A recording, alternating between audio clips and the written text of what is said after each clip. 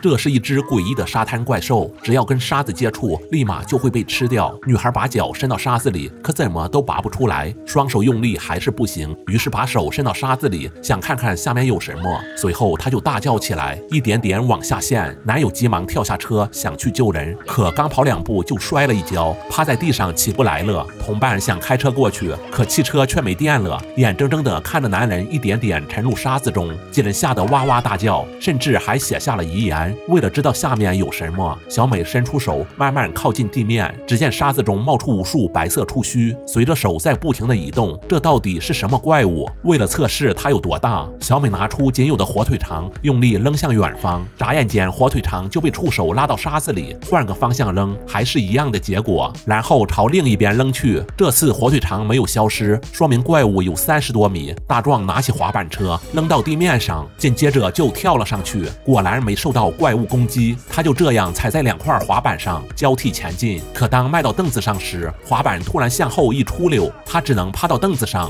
不过滑板还在慢慢向后移动。紧接着触须从沙子里冒了出来，正好摸到肚子。他腰部一用力，拼尽全力，总算到了凳子上。不过肚子还是受了伤。随后他意识渐渐模糊，躺在凳子上晕死过去。半天后，他被疼醒了，忍着剧痛查看背包里有什么。一不小心，香蕉掉到地上，他想都没想。就捡了起来，结果一点事都没有。这是什么情况？他又拿起香蕉，慢慢靠近沙子，发现触须不敢靠近火堆烧过的地方。他站起来，用力跳到灰烬上，果然没事。原来怪物怕火。接着，男人吃了口香蕉补充体力，可小美却露出了惊恐的表情。低头一看，我了个乖乖，香蕉竟然从伤口里流了出来，吓得他赶紧把嘴里的香蕉吐掉，身子像掏空了一般，躺在凳子上爬不起来了。正在这时，一辆警车来。到这里，他们大声呼救，让 FBI 千万别下车，赶紧打电话求援。可人家根本不相信有怪兽，觉得他们肯定吃了摇头丸，于是下车查看什么情况。就在大家以为他在劫难逃时，可什么事都没发生，因为他穿了鸿星尔克的大头皮鞋，怪兽根本穿不透。当他听到有两人被吃掉时，就想把几人铐回去，不料钥匙掉到了地上，他立马弯腰去捡，可手却被触手缠住，无论怎么用力就是拔不出。来，而且越陷越深，随后跪到了地上。他赶紧拿出防狼喷雾，喷到了沙子上，触须立马缩了回去。他一用力，胳膊就折了。几人惊恐的大声尖叫。突然，FBI 趴到了沙子上，触手紧紧抓住他的脸，一点点往里拽。没过多久，就慢慢消失在沙子里，而留下的沙坑却慢慢复原了。这时，小美看到远处的弹壳，才想起怪物的来历。原来昨天晚上开派对时，小伙伴找到一个巨蛋，他们放到火。上想烤着吃，可味道有点上头，就放弃了。没想到怪兽竟然跑了出来，要找几人报仇。而他们的手机都在后备箱里，汽车也没电了。胖哥还被困在铁桶里。小帅是唯一有战斗力的男人，觉得该自己表现了。没想到接毛巾时，围栏却断了。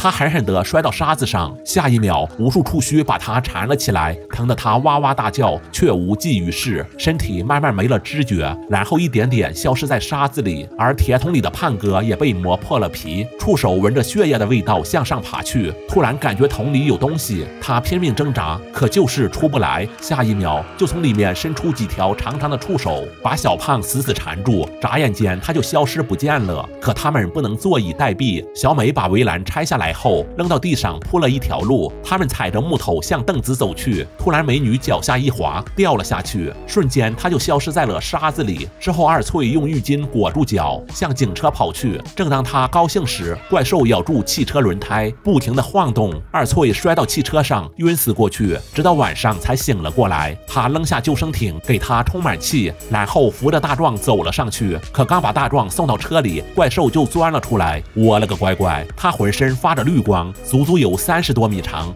应该是吃了这么多人才长这么大的。小美把车后面的油桶提了上来，然后倒在附近的沙地上。这时触手还在空中不停地摆动，却没发动攻击。小美拿出火柴，点燃后扔到地上，瞬间触手就着起火来，疼得她龇牙咧嘴，不停地扭动身体，转起了圈圈。小美趁机钻进车里，这时触手才攻击他们，可一点用都没有。第二天早上，一个陌生人把他们叫醒，小美。试探者踩到沙子上，发现没有受到怪兽攻击，这才一起向家走去。而大壮却永远留在这里，怪兽则跑到了大海里，不知下次哪个沙滩会遭殃。毛毛电影带你走进电影人生。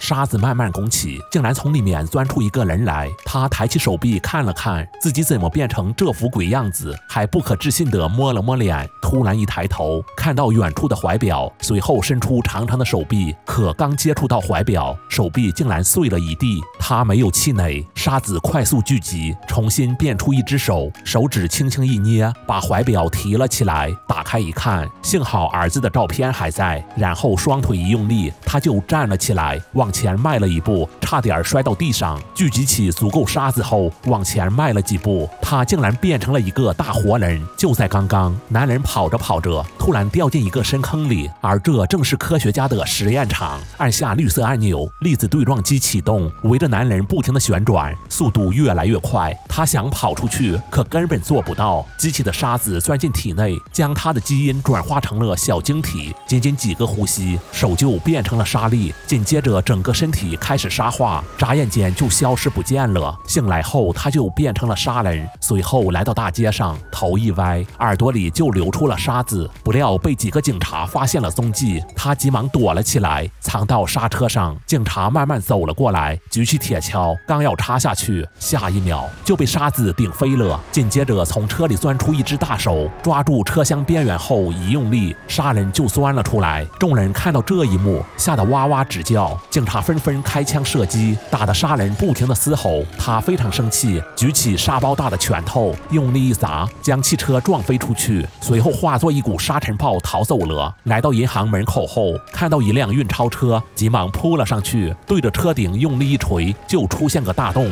随后车厢里就充满了沙子。杀人刚把钱放到皮包里，蜘蛛侠就跳了进来，对着杀人肚子哭哧就是一拳。可他咋地没咋地，杀人变出巨大拳头。一拳将蜘蛛侠打飞出去，可蜘蛛侠不是好惹的，不停地射出蛛丝。眨眼间，杀人身上就出现几个大洞，随后一个扫堂腿，没想到杀人瞬间恢复了正常，手臂变成铁锤，一下就把蜘蛛侠砸到车厢里。出来后，他四处张望，发现杀人已经消失不见了。经过不断搜寻，终于在地铁里找到了他。杀人上去就是一拳，却被蜘蛛侠躲了过去。这时恰好地铁经过，蜘蛛侠几个跳跃。一脚将杀人踹到列车上，随后按住他的头，跟列车来了个亲密接触。等列车过去后，杀人只剩下半个头，他双手按在地上，无数沙子涌入体内，随后头往后一仰，将蜘蛛侠撞飞出去。双方又打了起来，蜘蛛侠一拳将他锤到深坑里，正好落到水洼中。杀人刚要去拿钱，发现手臂竟然融化了，然后慢慢缩小。蜘蛛侠见状，轻轻一荡，把旁边的水桶踹了个大洞。紧接着，双手一用力，将铁皮拽开，随后一股巨浪冲了过来，瞬间将杀人淹没。尽管他拼命挣扎，却无济于事，身体变成一堆烂泥后，眨眼间消失不见了。死神把手伸进女人胸口，随后掏出一颗心脏，把它放到审判之秤上，另一端则放了根羽毛。如果心脏比羽毛重，会被打入十八层地狱；否则就会进入天堂。女人非常害怕，急忙点了三盒。这才让审判之秤保持平衡。女人见状，也露出了灿烂的笑容。随后来到五扇大门前，中间的石门缓缓打开，可里面黑漆漆的，根本不像天堂。她刚想反悔，不料被二哈一脚踹了下去。这边刚忙完，又走来一个女人。死神先把羽毛放到审判之秤上，然后伸出雪白的小手去掏心脏，不料被一巴掌打开。这下死神怒了，说我必须掏心脏称重。可小美根本不怕他，把手按在托盘上。这下死。死神懵了，小美说：“我一生跌宕起伏，非常精彩，肯定比羽毛重，还想花十万块收买死神，把他放回去。”死神彻底怒了，打开百宝箱，想让小美灰飞烟灭，可下一秒，因为点了赞和关注。他就被神秘力量拉走，这下死神又不淡定了，怎么总不按套路出牌？画面一转，墓地里伸出一只手，随后小美从里面爬了出来。只见她小嘴一张，把体内的积液都喷了出来，这可把她恶心坏了。紧接着又摸了摸胸口，发现心脏停止了跳动，无处可去的她只好回到家中。透过窗户望去，阳光是那么刺眼。这时老妈听到动静出来一看，顿时吓得哇哇大叫，急忙躲进厕所里。小美轻轻一推。门锁就坏了。他说自己不是诈尸，而是被神秘力量复活。老妈这才破涕为笑。他们又过上了幸福的生活。